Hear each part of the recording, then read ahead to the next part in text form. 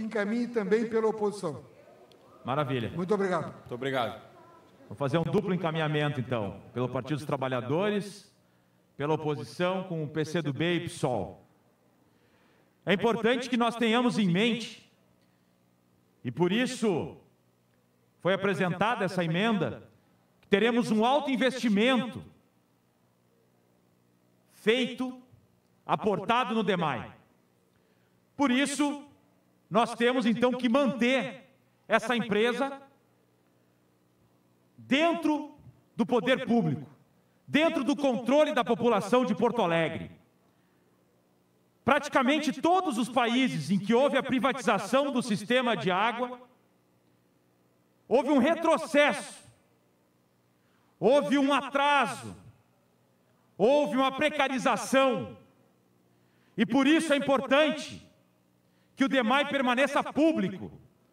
E por isso essa emenda é extremamente importante, vereador Ruas. Porque essa emenda faz com que o dinheiro público aportado permaneça nas mãos do povo de Porto Alegre. É muito fácil nós falarmos agora que um projeto foi derrotado durante as eleições. Mas nós sabemos como funcionaram as eleições em Porto Alegre.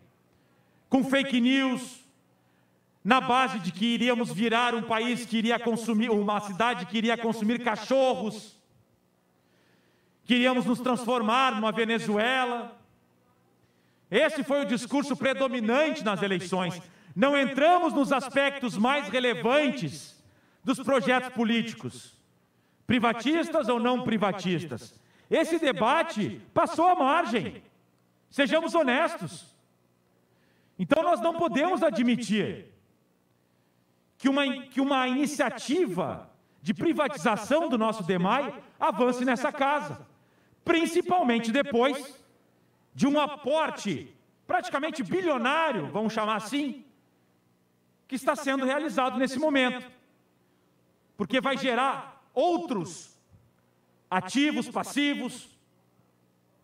Dessa forma, nós defendemos com essa emenda, e nós defendemos a nossa posição como partidos de oposição, de que a água é um bem público. Jamais a iniciativa privada conseguirá fornecer o serviço de qualidade necessário, porque é extremamente caro e para isso terá que cobrar altas taxas. É a contrapartida da iniciativa privada. A iniciativa privada jamais fará o serviço do Estado. É uma bobagem pensar que a iniciativa privada vai abraçar aquilo que o Estado está fazendo hoje e que pode ser até deficitário, porque a função do Estado não é dar lucro. A função do Estado não é funcionar como uma empresa. A função do Estado, muitas vezes, é fazer o serviço chegar para aqueles que não têm condições de pagar por aquele serviço. E a água é básico, é um bem básico, um bem essencial. Sem água, nenhum ser humano sobrevive. Sem acesso ao saneamento básico, teremos diversas doenças.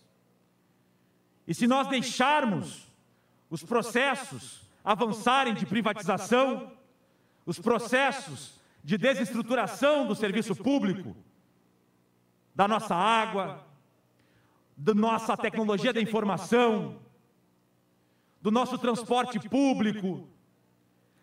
Tudo isso atinge diretamente aqueles que mais precisam, que são aqueles que não têm condições de pagar o serviço privado. Por isso, o serviço público fornece esses bens, fornece esses serviços e permite com que todos nós possamos ter o mínimo de dignidade, mesmo nesse momento nefasto que nós vivemos.